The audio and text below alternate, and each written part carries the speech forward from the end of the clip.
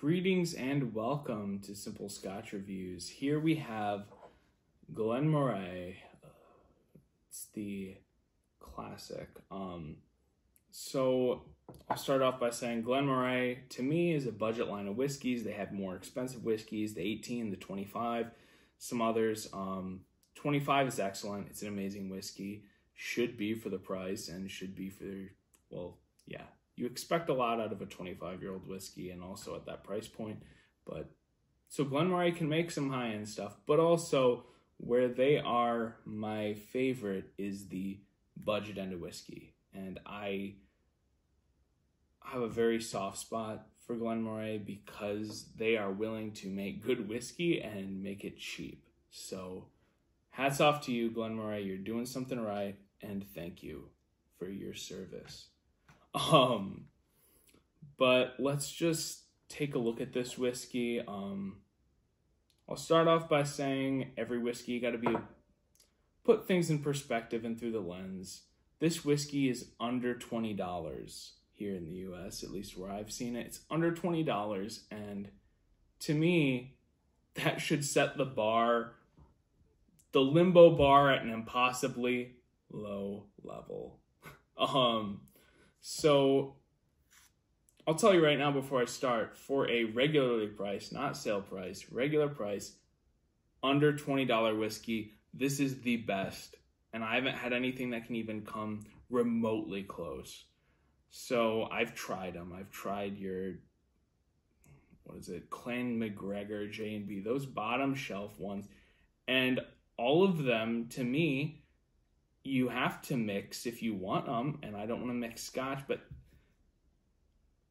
well, yeah, you mix it in something that masks the flavor, and essentially at that point you have vodka. May as well use vodka because it has less off flavor than some of those scotches. But to move towards this review, um, this smashes the competition under twenty dollars. I've had I have found other Glen Moray whiskeys on sale for under twenty dollars, and they're better under twenty dollar whiskey. But this one for regular price under twenty dollars, you, you yeah, it cannot be beat that I've seen. I'm sure there's something that's not sold here, and someone will chime in in the comments. Oh, I found this over in England or something, and it's probably awesome. But where I've where I've been, I've not found a better twenty dollar or less whiskey. Like I think the standard price is nineteen ninety nine, so twenty dollars. But if you get it on sale, it's just even more of a steal. So I just wanted to put that at the start of the review. Sorry, I went kind of long on that, but I just wanted to put it because we have to frame our expectations around a $20 whiskey. Because some people have a hard time of differentiating, let's say. They'll have GlenDronach 18 and be like, oh, this is delicious. And then Glen Moray for $19. Oh, this is garbage whiskey. Well, if they're the same price, I would never ever buy Glen Moray. So I agree, it's better. But framing the proper perspective here, let's uh let's get into it. The nose is very subtle, not a lot going on. Get a little bit of vanilla, hint of fruit, hint of uh, malt, some grass.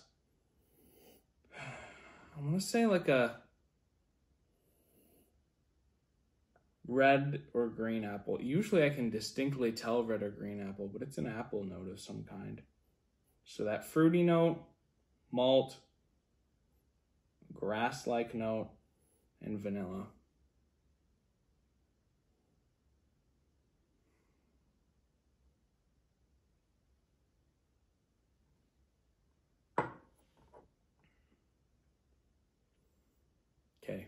This whiskey is extremely non-complex. Has that apple note, fruit note. So it's got a fruit note, hint of vanilla, done. That's all there is. I don't get baking I'm trying to find things. I I picked this thing apart and I think I when I wrote notes I found like one other note and I'll get to that. Finish extremely short. So it is very simple, very short. But again, it's so cheap that that's okay.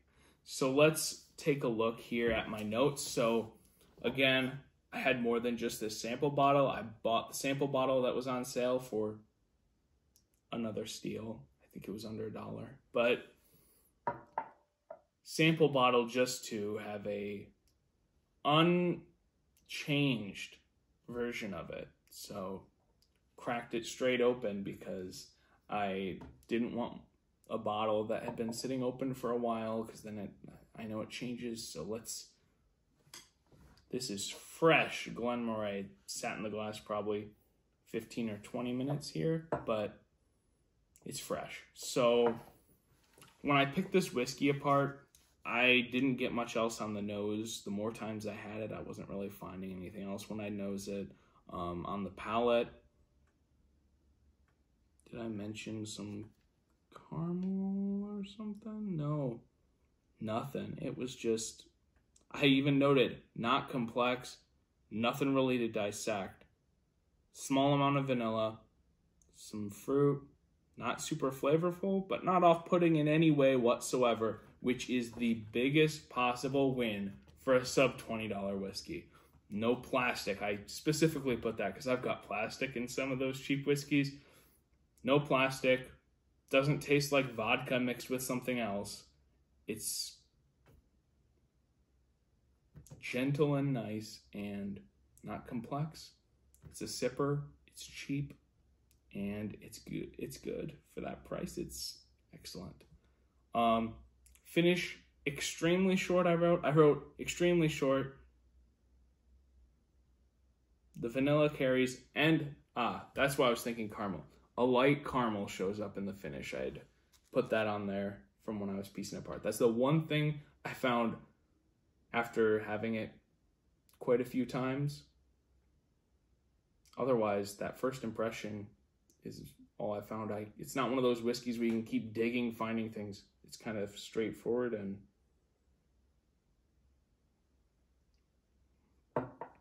not bad, but Overall, must try, especially if you're someone that cares about the budget. Definitely try. If you're someone that, well, I'd rather just drink $100 whiskey every day, go knock yourself out. If, if you have that kind of money, that sounds like a great strategy if that's what you want to do. But if you're looking for those budget picks, try this one. I haven't found anything else that is, even when it's not on sale, under $20. And it's definitely holds its own. I know some Scotch drinkers switch to other types of whiskey like bourbon to try to find value at un- under $20. The bourbons have jumped up so much in price, and not everyone likes bourbon that likes Scotch, but bourbons to me, the good ones have jumped up in price, and so it's kind of like even at the low price points now, I prefer Scotch still. So, but there is something to be said for a change of pace, even if Scotch is your main. I have reviews of Irish. I enjoy a lot of Irish whiskeys. I enjoy Scotch. I enjoy bourbon and rye as well. So check out the channel. You'll see my reviews on other types of whiskey, blended, single malt, blended malt whiskeys. Um, but also there's more American whiskeys coming. So if you're someone that you like other types of whiskey, more of those reviews are coming. I think right now it's predominantly Irish and Scotch, some Canadian right now. I don't think there's any American whiskeys. That's going to change. Um, but subscribe and you'll get notified when those hit. Check out my channel. There's a lot of reviews and there's going to be more. Pick up a bottle though, especially if you're someone that just likes the lower end of things and wants to save money. This is a good scotch for you. Alas, enjoy all your scotch and thanks for watching.